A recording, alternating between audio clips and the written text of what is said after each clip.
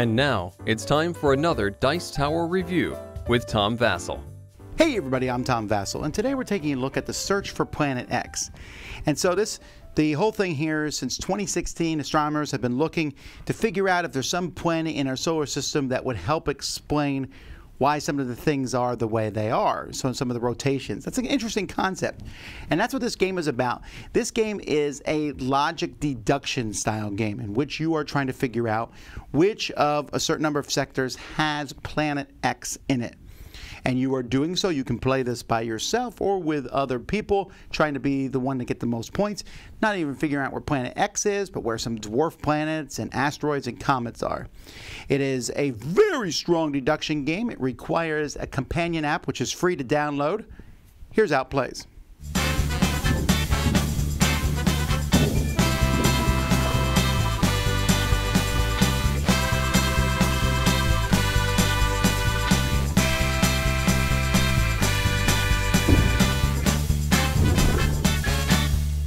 Board has two sides. There's an expert side, which is what I'm showing you, and there is a basic side. And you can see here each, this is the basic side, has only 12 sectors, and then on the other side it will show you the advanced side. And actually, there's a sheet here depending on which side of the board you're sitting. So it rotates. So this one here is if I'm sitting on the sun side, and since I'm sitting on this side here with the flower, which is the spring, I would use this board here. Well, actually, I would use this one since I'm playing with the advanced one.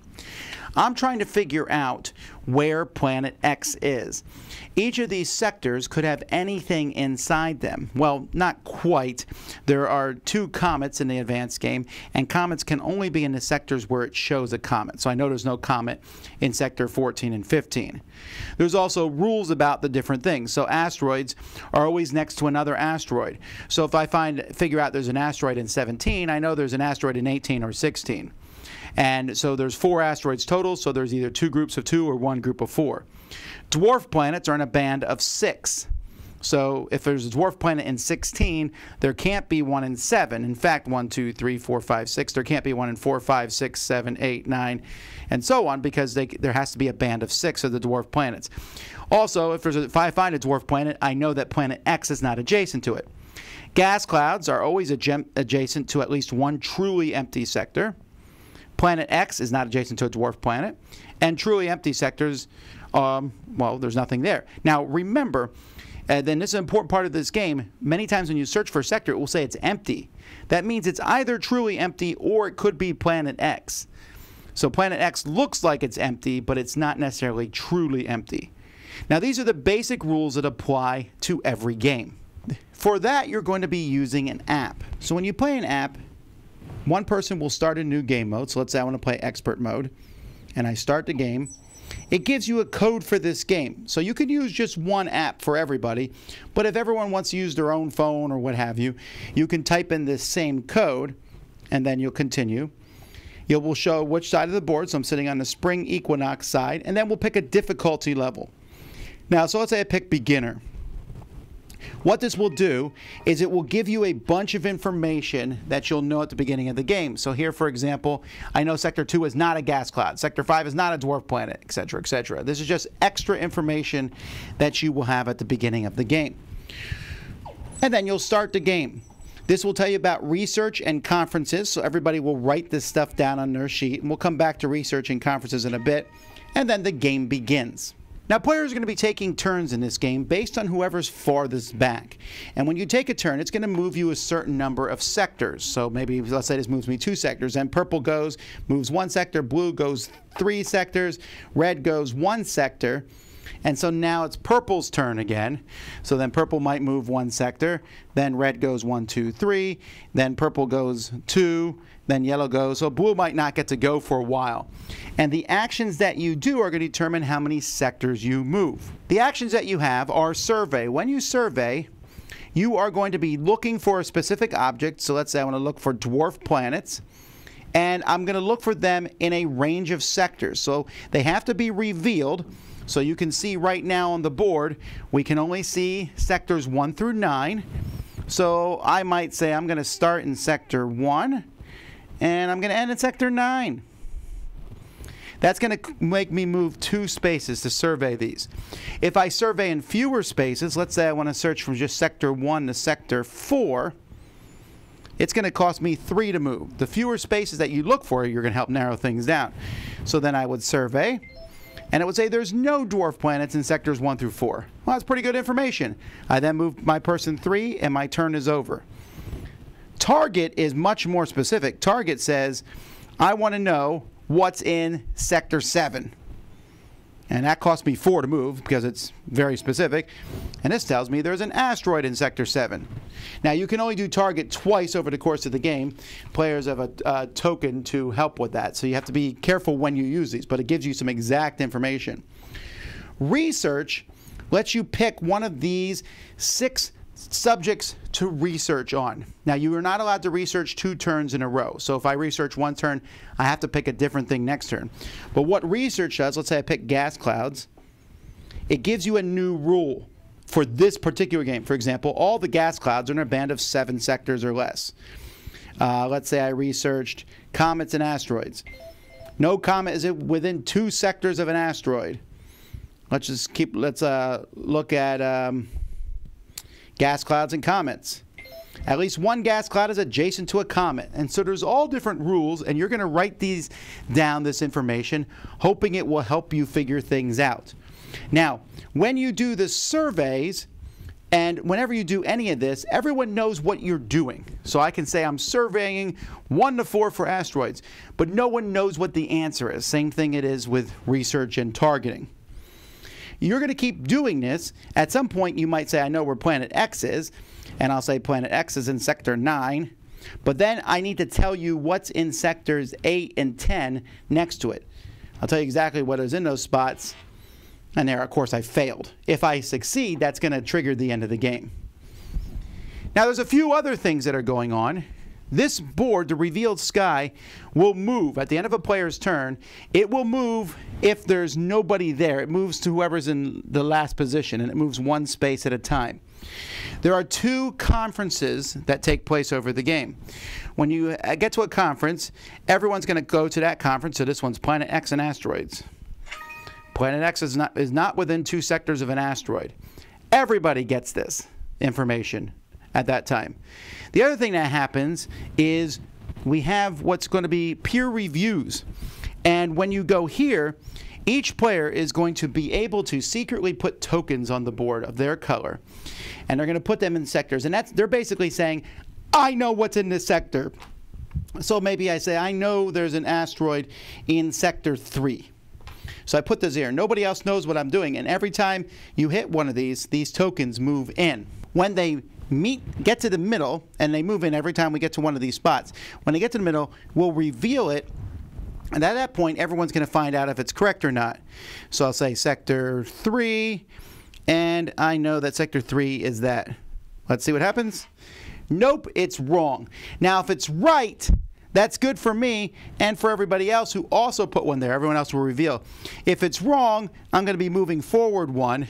So, uh, kind of as a so you just don't randomly throw them out there. But at the end of the game, they're going to be worth points. And in fact, I've just told you everything about the game. At the end of the game, you are going to get scores based on many different things here. When you discovered Planet X, will give you quite a few points, and you can try to figure it out on your final turn if you want. Um, if you're the first person to find these correctly, uh, the first person to find each one of those will get points. If you discovered these correctly over the course of the game, you get points, and you'll add all this together and whoever has the most points win. There's a good chance the person who discovered Planet X first will win, but that's not necessarily guaranteed if other people were correctly guessing stuff over the course of the game. So this board is really only used to keep these tokens on and to move your pieces around. The pieces are neat. They're different observatories um, here. The board itself has this piece set in the middle. And let me show you the other side just so you can see what the standard side looks like. Uh, the sheets are nice, although I'm going to be laminating mine as I do with most of these type of games. You got quite a few in here, so you're going to be able to play the game. And you can play the game solo. The different shields here tell you all the information about stuff. And in fact, there's this card that just fits in here that will you put in for the difference between an advanced game and a basic game. Because in a basic game, there's only one dwarf planet. In the advanced game, there are four of them, and also. Yeah, that's and there's also more truly empty sectors in an advanced game. But this tells you what the turnover view is, how theory phase works, um, locating planet X, and the game end and scoring. And so there's a lot of good information in this. The app itself is pretty basic. You heard the sound effects on it, you know, and at the very end, when you're done with the game, you end the game, and it will tell you what's in each of the sectors. Now you say, Tom, you're spoiling this. Yeah, I'm spoiling one of, I don't know how many hundreds or even thousands of games, so it's not that big of a deal. And you could even, you know, I could play a game and send it to you, and you could play the same game. We can see who does it faster, I suppose. Um, but the components for this game, they have a very the whole thing has a seriousness to it. It's not silliness. It's actually about trying to figure out where Planet X is. The rule book's really clear. Very good components. I really enjoy the search for Planet X. It is likely one of my favorite deduction games. The research and the laws and the rules really do my heart good.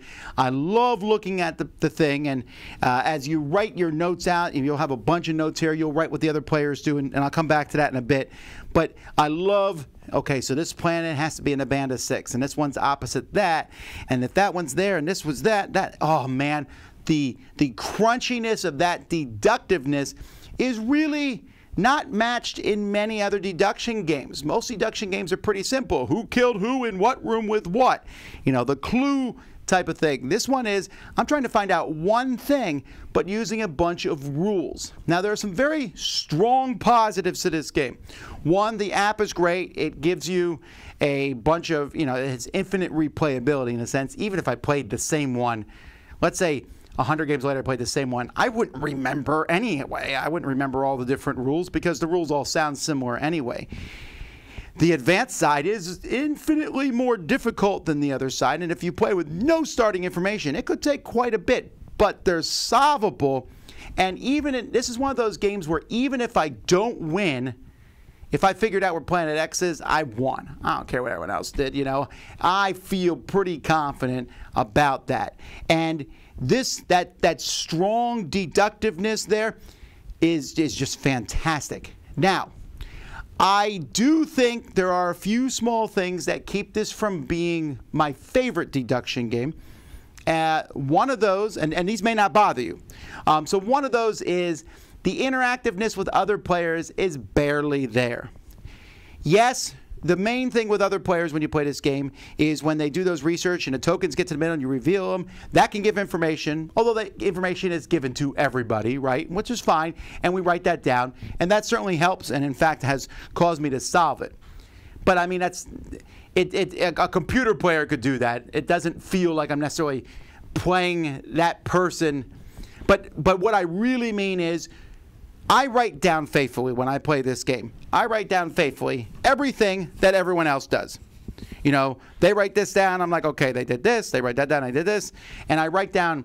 But I'll tell you what the other players does does not help me figure it out very well at all, because it's another level. So if Susan says I'm going to survey sectors three to seven for dwarf planets, I'm like, okay, so, Susan, look for dwarf planets from sectors 3 to 7. I haven't done that yet, so she must think there's one there. Or maybe she thinks there's none there. Then Susan puts a token out. I'm like, okay, now I can combine those two pieces of information. So she must know something. I maybe I'm just dumb, but deducing or inducing the information from what other people did very difficult, especially if they do the research. I'm looking up the asteroid rule. Okay, well, that's not helpful at all. So, uh, that's not a big deal, right? I just, after a while, I'm like, why am I even writing down what the other players do? Now, I'm sure there's some very smart people out there, and oh, yeah, that's really helpful. But I would wager for the vast majority of people, and everyone I played with has said that what other people did did not necessarily affect their deducing of where Planet X was at the end of the game. Uh, also, the research action in this game, which only costs one, and you cannot do it every turn. And that's good because I guarantee you, every time I play this, I will be taking that action every other turn. Getting all those rules and helping have all those rules in place is really a big deal.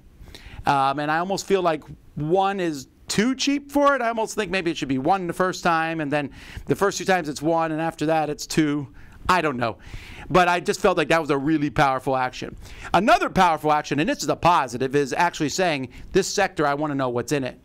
And some people will scoff at that because moving four in this game means you might not get go for a few turns. But if you know what's in one sector, you figure out a sector you have know nothing about. If I can figure out what's in one sector, that can really help with everything else because I can then use all those rules I gathered and say, okay, well, if there is an asteroid there, I know the asteroids are in this band, so there can't be asteroids here. And if there can't be asteroids here, and sometimes a, a whole bunch of dominoes can be. And I would be hard pressed to not do that action over the course of a game. I really enjoy this. I, I, mentioned some things that I found slightly negative about it, but I want to be clear that my enjoyment of the game is vastly beyond that. I like it that much. One of the positives of the game is if someone else makes a mistake, it doesn't affect me. I'm interacting with the app. So if you're like, you know, many games ask someone, does the character have a mustache? And they say yes. And later on they're like, oh, I meant no. Oh man, all my notes are messed up. Here, if you mess up your notes, it's your fault and I love the rules. I also love the very seriousness and coolness of the theme. This is something that's like based on actual stuff, and I really enjoy that. So overall, I think this is an excellent deduction game. I tend to lean towards these games. I tend to, to, to enjoy games that are really crunchy and very thoughtful. And this is one of the best of the lot. Great theme, great deduction, uh, lots of replayability. I prefer the advanced side just because I think it's deeper and more thoughtful, but the other side works well too. You can play it solo. So many positives. My only negatives are like I don't know that the other players matter that much, and that keeps it maybe from yes, there's a race to be the first one done but well, I guess so. You can still get points in other ways, but that's very minor. And at the end of the day, if you like deduction games at all, then this one better be in your collection. That's the search for Planet X. I'm Tom Vasel. We'll see you next time. Dice Tower Judgment, excellent.